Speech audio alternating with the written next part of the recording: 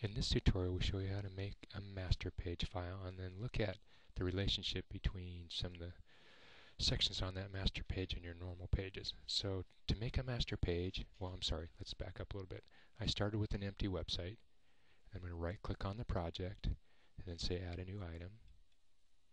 And then I'm going to find the master page on here say OK. In the name of the master page, this master page.master is fine. Just leave it that but we don't want it to use a master page, so we'll uncheck this box.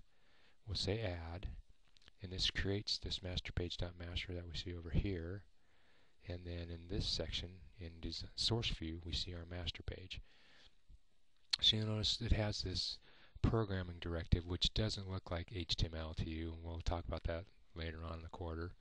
That has a doc type, and we could change the doc type. Right now, it's 1.0 transitional, which is great. We could change it to strict if we wanted. And then this probably makes sense for those who had HTML, but here's the HTML start tag, the head tag, and the body tag.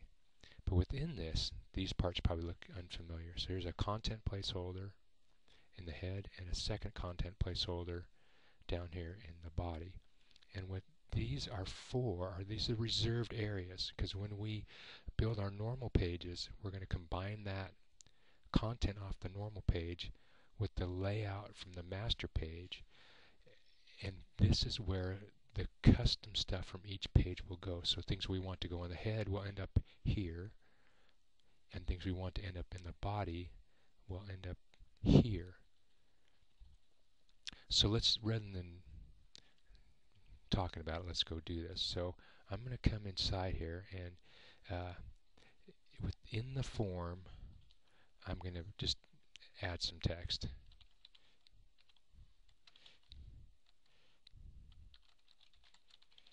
So say this is a new page heading. You know, when we put the header of the page stuff here.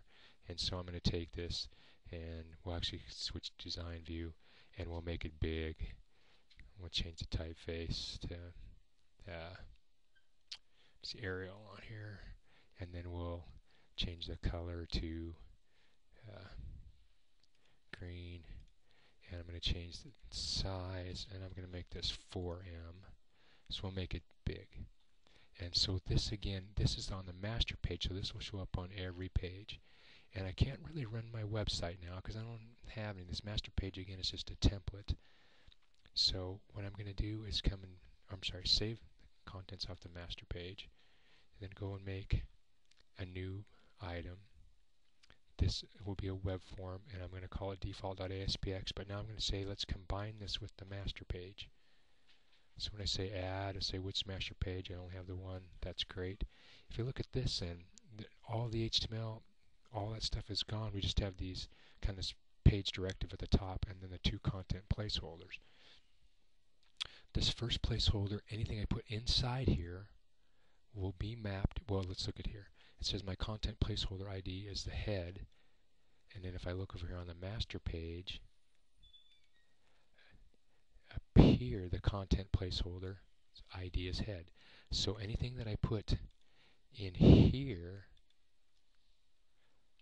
so if I put a meta tag with some content comments, that type of thing on it. If I put it here in the default page, when I combine the two, anything inside this content pane will end up inside the content placeholder over here.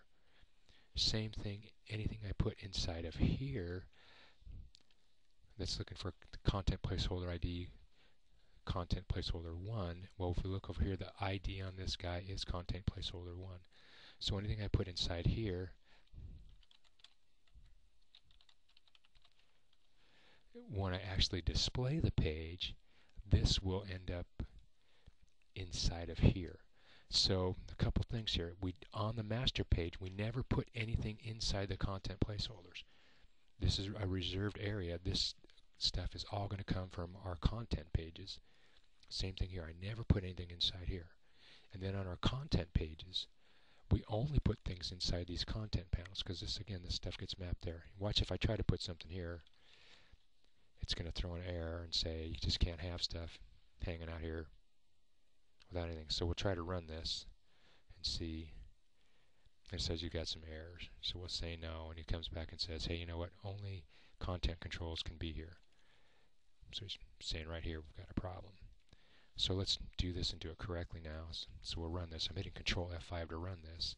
And we see when I run the default page, it actually shows me this page heading from the master page and then this content from the content panel from the content page.